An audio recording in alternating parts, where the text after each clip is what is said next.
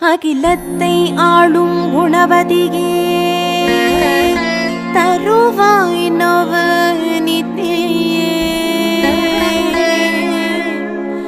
நல்மதியும் நிம்மதியும் நல்கிடுவாய் அம்பிக்கையே முழுமத கடவுளாம் விநாயகப் பெருமான் அவர்களின் பாதங்களை வணங்கி எம்முடைய மானசீக குருவான காஞ்சி மகாபெரிவா அவர்களின் பாதங்களையும் வணங்கி ராமபிரான் அவர்களின் பாதங்களை வணங்கி நிகழ்ச்சிக்குள் செல்லலாம்.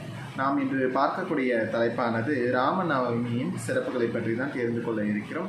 அது மட்டும் அல்லாமல் ராமநவமி அன்று இந்த நன்னாளில் நாம் ராமாயணத்தின் பலனையும் அதனை எவ்வாறு நாம் படிப்பது என்பதை பற்றியும் நாம் தெரிந்து கொள்ள இருக்கிறோம். அதனை நாம் பாராயணம் செய்யவிருக்கிறோம் அனைவரும் கேட்டு பயன்பெறுமாறு கேட்டுக்கொள்கிறோம் நன்மையும் செல்வமும் நாளும் நல்குமே திண்மையும் பாவமும் சிதைந்து போகுமே. ஜென்மமும் மரணமும் இன்றி தீருமே ராமா என்ற இரண்டு எழுத்தினாலே. நாம் இன்று ராமாயணத்தை எளிய முறையில் ஐந்து நிமிடத்தில் பாராயணம் செய்ய இருக்கிறோம். அதனை அனைவரும் கேட்டு பயன்பெறுமாறு அன்போடு கேட்டுக்கொள்கிறோம். எப்பொழுதுமே நாம் ராமாயணத்தை படிப்பதினாலும் அதனை கேட்பதினாலும் இரண்டிற்குமே சரியான பலன்களை இறைவனானவர் கொடுப்பார். எனவே நாம் அந்த பாராயணத்தை இப்பொழுது நாம் பார்க்கலாம். ராவணனை அழிக்க திருமால் மனித அவதாரம் எடுக்கிறார். தசரதன் கோசலை தம்பதியினருக்கு ராமனாக திருமால் பிறக்கிறான். தசரதனுக்கும் கைகேயி மற்றும் சுமித்திரை ஆகியோருக்கும் இலக்குவன் பரதன் சத்ருகன் ஆகியோர் பிறக்கின்றனர். நால்வரும் தசரதனுடைய அரண்மனையில் வளர்ந்து வருகின்றனர். ராமனையும் இலக்குவனையும் விஸ்வாமித்திரர் தன்னுடைய யாகத்திற்காக காவலாக அழைத்துச் செல்கின்றனர். விஸ்வாமித்திரரின் யாகத்தினை அழிக்க வந்த தாடகை என்னும் அரக்கியை ராமன் கொள்கிறார் தாடகியைப் போல யாகத்தினை அழிக்க வந்த அரக்கர்களையும் ராமனும் இலக்குவனும் அழிக்கின்றனர். மிதிலைக்கு ராமனையும் இலக்குவனையும் விஸ்வாமித்திரர் அழைத்துச் செல்கிறார். வழியில் கல்லாக இருந்த அகலிகை ராமனின் கால் தூசுப்பட்டு உயிர் பெறுகிறான். அவளை கௌதம முனிவருடன் சேர்த்துவிட்டு மிதிலைக்கு செல்கின்றனர். அங்கு சீதைக்கு சுயம்பரம் நடக்கிறது. அதில் ராமன் கலந்து கொண்டு சிவதனுசை உடைத்து சீதையை மணக்கிறார். அடுத்தபடியாக ராமன் சீதையை திருமணம் செய்து கொண்டு அயோத்தியாவிற்கு செல்கிறார். உடன் இலக்குவனும் விஸ்வாமித்திரரும் செல்கின்றனர். அயோத்தியின் மன்னரான தசரதன் ராமனுக்கு பட்டாபிஷேகம் செய்ய ஏற்பாடுகளை செய்கிறார். அதனுடைய அறிந்த மக்களும் மந்திரிகளும் மகிழ்கின்றனர். மந்தரை எனும் கூனி பரதனின் தாயான கைகேயிடம் சென்று அவளுடைய மனதினை மாற்றுகிறார் கைகேயி தசரதன் முன்பு தந்த இரண்டு வரங்களையும் இப்போது சூழ்நிலைக்கு தக்கவாறு ராமன் காடாலவும் பரத நாடாலவும் கேட்டு பெறுகிறாள். ராமனும் சீதையும் காட்டிற்கு செல்லுகையில் இலக்குவனும் உடன் செல்கிறார் மூவரும் காட்டிற்கு சென்று முனிவர்களையும் குகனையும் சந்திக்கின்றார்கள். குகனை தன்னுடைய மற்றொரு சகோதரன் என்று ராமன் பெருமையாக கூறுகிறார். தசரதன் இறந்து போனதால் இறுதி காரியங்களை செய்துவிட்டு பரதன் ராமனை காட்டில் வந்து சந்திக்கிறார். அயோத்திய அரசை ஏற்க ராமனிடம் வற்புறுத்துகிறான். ஆனால் ராமன் அதனை ஏற்க மறுக்கின்றான். பரதன் ராமன் மீண்டும் வந்து பொறுப்பு ஏற்கும் வரை ராமனின் பாதுகைகளை வைத்து அரசு செய்கிறான். அடுத்தபடியாக ராமன் காட்டில் விராதன் சரபங்கன் அகத்தியர் ஜடாயு ஆகியோர்களை சந்திக்கிறார். அவர்களின் மூலமாக அரக்கர்களை பற்றியும் ஆயுதங்களை பற்றியும் அறிந்து கொள்கிறார். ராவனுடைய தங்கை சூர்பனகை ராமனை கண்டு காதல் கொள்கிறார். ஆனால் ராமன் ஏகபத்னி விரதன் என்று பிற பெண்களை ஏற்காமல் இருக்கிறான். இலக்குவனை சூர்பனகையின் மூக்கினை அறிந்து அனுப்புகிறான். அதனால் ராவனிடம் சென்று ராமனின் மனைவி சீதையை பற்றி அவளுடைய அழகினை கூறி சீதையின் மீது மோகம் கொள்ள வைக்கிறாள். ராவணன் மாயமினை அனுப்பி ராமனையும் இலக்குவனையும் சீதையிடமிருந்து பிரித்து சீதையை கவர்ந்து செல்கிறார். வழியில் ஜடாயு சீதையை மீட்க போராடி வீழ்கிறார். சீதையை இல்லத்தில் காணாது தேடி வரும் சகோதரர்களுக்கு ராவனை பற்றி கூறிவிட்டு உயிர் விடுகிறார் ஜடாயு. அடுத்தபடியாக சீதையை தேடி செல்கின்ற ராமனும் இலக்குவனும் கிர்கிந்தைக்கு வருகிறார்கள். அங்கு அனுமனை சந்திக்கிறார். ராமர் அனுமன் சுக்கிரீவன் என்பவரை ராமருக்கு அறிமுகம் செய்கிறார்.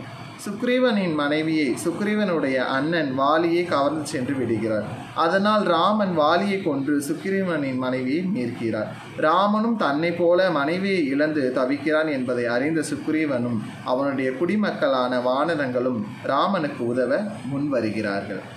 அங்கதன் என்பவர் தலைமையில் அனைவரும் செல்கின்றனர். வழியில் சம்பாதி எனும் ஜராயுவின் அண்ணனை சந்திக்கின்றனர். சம்பாதி இலங்கையில் சீதை சிறைப்பட்டு இருப்பதை தெரிவிக்கின்றார் இலங்கைக்கு செல்ல ஏற்றவர் அனுமன் என்று தீர்மானித்து அனுமனிடம் தெரிவிக்கின்றனர். அனுமனுக்கு அவருடைய பெருமையை உணர்த்தி அவர் இலங்கை செல்ல விஸ்வரூபம் எடுக்கிறார். அடுத்தபடியாக அனுமன் இலங்கைக்கு செல்ல வான்வெளியில் பறந்து செல்கிறார். வழியில் எதிர்ப்படும் தடைகளை ராமநாமம் கொண்டு வெற்றி பெற்று இலங்கையை அடைகிறான். அங்கே அசோகவனத்தில் உள்ள சீதையை கண்டு தான் ராமனின் தூதுவன் என்று கூறி ராமனின் அடையாளமான மோதிரத்தை தந்து தெரிவிக்கிறார் சீதையும் அந்த மோதிரத்தினை பெற்றுக்கொண்டு சூடாமணி எனும் அணியை தருகிறான். ராவணனை சந்தித்து அனுமன் ராமனின் பெருமைகளை கூறி சீதையை ராமனிடம் சேர்த்து விடும்படி கூறுகிறார் ஆனால் ராவணன் அனுமன் வாளில் தீயிடுகிறான். அனுமன் இலங்கையை எரித்துவிட்டு ராமனிடம் சென்று சீதையை கண்டதை கூறுகிறார் அடுத்தபடியாக ராமன் இலங்கைக்கு பாலம் அமைத்து வானர படையுடன் சென்று ராவணனுடன் போர் செய்கிறான். அப்போது ராவணனின் சகோதரன் வீடனன் ராமனுடன் இணைந்து கொள்கிறான். ராமன் ராவணனுடைய தம்பியான கும்பகருணன் மகன் இந்திரஜித்தும் என அனைவரையும் போரிட்டு கொள்கிறார். இறுதியாக ராவணனை கொன்று வீடனுக்கு இலங்கையை தந்துவிட்டு சீதையை மீட்டு அயோத்திக்கு செல்கிறார்.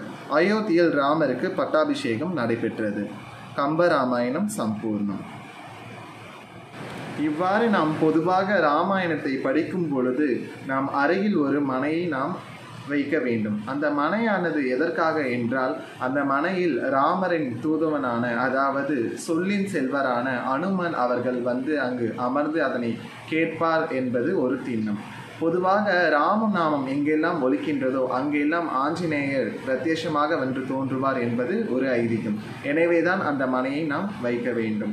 இந்த ராமாயணத்தில் நாம் சுந்தரகாண்டம் படிப்பதால் அத்துணை சிறப்பு அத்துணை நன்மைகளும் நமக்கு பெற்றுத்தரும்.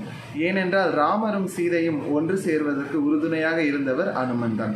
அதன் காரணமாகத்தான் நாம் இந்த சுந்தரகாண்டத்தை படிப்பதனால் நமக்கு அத்துணை விதமான நன்மைகளும் நமக்கு ஏற்படும். ராமாயணம் முழுவதையும் நாம் படிப்பதாலும் பல பலன்களை நாம் பெற பெறலாம். இப்பொழுது நாம் ராமாயணம் படிப்பதனால் ஏற்படும் சில நன்மைகளை பற்றி தெரிந்து கொள்ளலாம். தீராத நோய்கள் அனைத்தும் தீரும். தடைகள் விலகும். திருமணம் விரைவில் கைகூடி வரும் நவகிரக தோஷங்கள் அனைத்தும் விலகும். தீமைகள் எதுவும் நடக்காது. நன்மை மட்டுமே நடக்கும். இது போன்ற சில நன்மைகள் நாம் ராமாயணம் படிப்பதால் நமக்கு ஏற்படுகிறது. படிப்பதனால் மட்டுமல்ல நாம் அதனை கேட்பதனாலும் நமக்கு அந்த பலனானது இறைவன் நமக்கு கொடுக்கிறான். இந்த ராமநவமி நன்னாளில் நாம் ராமபிரானின் அருளுக்கு பாத்திரமாகவும் ராமபிரானின் அவருடைய நாமத்தை நாம் கூறி அவருடைய அருளுக்கு நாம் பாத்திரமாக வேண்டும். அது மட்டும் அல்லாமல் ராமநாமத்தை நாம் உச்சரிக்கும் பொழுது அனுமருடைய அனுகிரமானது நமக்கு பரிபூரணமாக பெற்றுக் கொடுக்கும். எனவே இந்த ராமநவமி நன்னாளில் முடிந்த அளவிற்கு ராமநாமத்தை உபயோகிங்கள் ஸ்ரீராம ஜெயம் எழுதுவதை அனைவரும் உபயோகியுங்கள். நூற்றி எட்டு முறை ஆயிரத்தி எட்டு முறை பத்தாயிரத்தி எட்டு முறை என எழுதலாம். அதில் தவறு ஏதும் இல்லை. இது போன்ற நல்ல பதிவுகளை தரும் வரை உங்களிடம் இருந்து தற்காலிகமாக விடைபெற்றுக் கொள்வது நேதாஜி என்கின்ற தமிழ்செல்வம் சுந்தரமூர்த்தி. சென்னை நன்றி. வணக்கம். ஸ்ரீராம ஜெயம் ஸ்ரீராம ஜெயம் ஸ்ரீராம ஜெயம் ஸ்ரீராம ஜெயம் ஸ்ரீராம ஜெயம் ஸ்ரீராம ஜெயம்.